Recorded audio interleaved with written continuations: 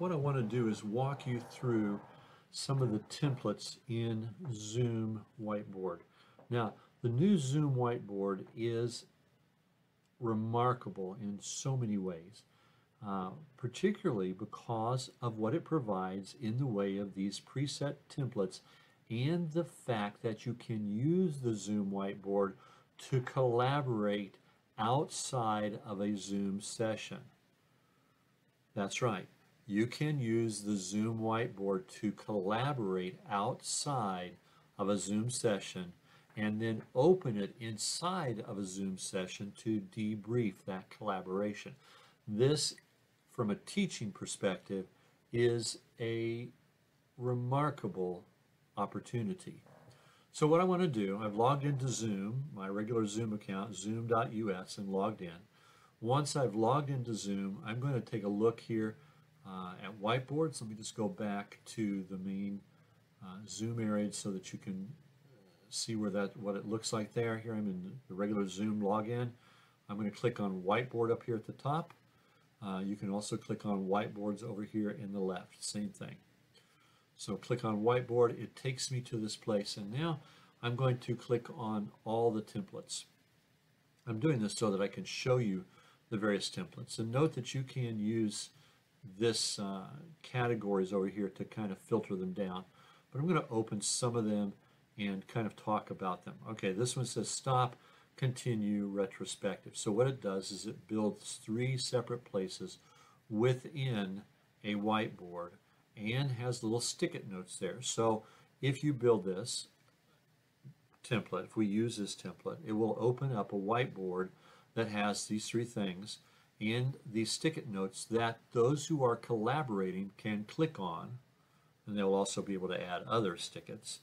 Uh, they can add other stick-its or they can click on these and fill in that. So uh, as they're collaborating, they may say, well, what should we stop? Uh, and they'll put in here a couple of things. What should we start? What should we continue?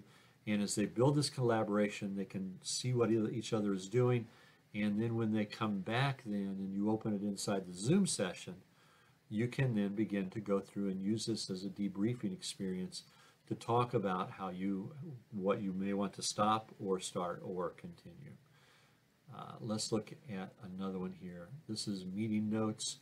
Uh, I don't find this one quite as exciting, but some of them may be exciting for you. And so it's got these areas already built out with things that you can add. Goals, notes, action items, parking lot, discussion topics. Uh, parking lot being those things that you're putting on hold, obviously. Let's go back one more. Um, let's look at seed bracket. You know what a seed bracket is. I won't spend any time there. Uh, root, problem root, solution. And if you're a teacher, you look at this, pick a specific problem from the perspective of the user, identify the root cause, create a solution. You can already begin thinking about ways to use this which is so exciting. You, I mean, this is like uh, just candy to a candy shop to a teacher to begin thinking about, huh, I bet I could use this to do that.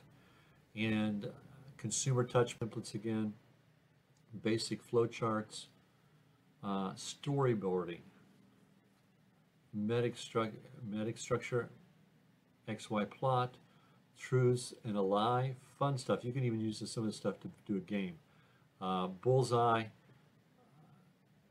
Venn diagram, business review, product feature roadmap, uh, design critique. You can build a SWOT analysis here.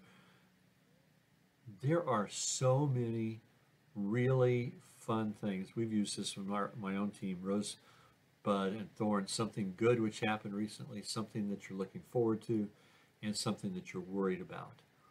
Uh, fun thing to send out to your class maybe ahead of time. So what do you do when you do this? Well, okay, so let's use one. Let's use um, let's use the rosebud and thorn one. All right, I'm going to use the template here. I've opened the template. Here we go. I can change the name. So uh, this is for my class, whatever my class is, PSY uh, 300. I don't know if that's even a number we're using. And here it is, Rosebud and Thorn, explains what it is right there. Um, I've got it set out here, but if I wanted to, I could change the titles at the top of each of those. So even though right now it says something good which happened recently, I could change the title if I chose to. It's, it's completely adaptable to your needs. You can drag over more sticky notes.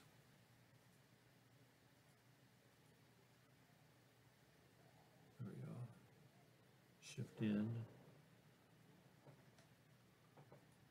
There we go. You can make them whatever color you want. You can make them whatever size you want. You can move them around if you want to line up, real easy to do. And if you double click on it, you can begin typing.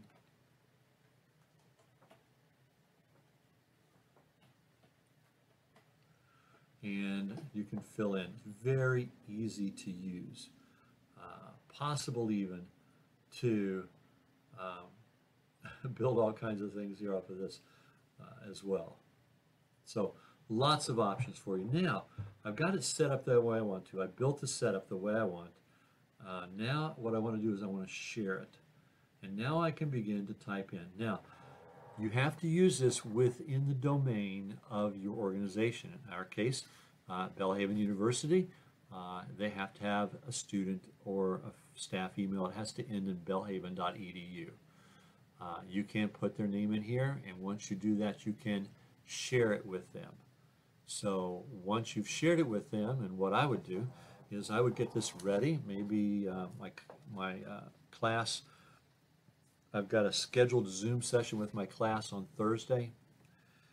Uh, what I'm going to do maybe on the Friday before or the Monday of that week is I'm going to get this ready and I'm going to collaborate. I'm going to send it out to everybody with a note that says, hey, um, maybe I'll have to put that in the announcement in the course. Hey, I just sent you a collaboration whiteboard. Work on that fill in some things, get all your pieces together. You can even add more explanations up here if you want to. Uh, just kind of put in a text box up here and describe what you want to what you want to say to the students here. Hit share, and then when it comes back uh, on when it comes time for your Zoom session on Thursday, when you open your Zoom class, uh, you will be able, and you open your Zoom class down the bottom, there'll be a little link for a whiteboard. You can click that, and it will open up and when it does open up, it will give you um, it will give you a list of your whiteboards. And here are the list of the whiteboards that I've used uh, in the past. In fact, here's the rosebud thorn I used last this past July as we work through some different things. Um, discussion notes, uh, lots, lots of fun things here that you can do.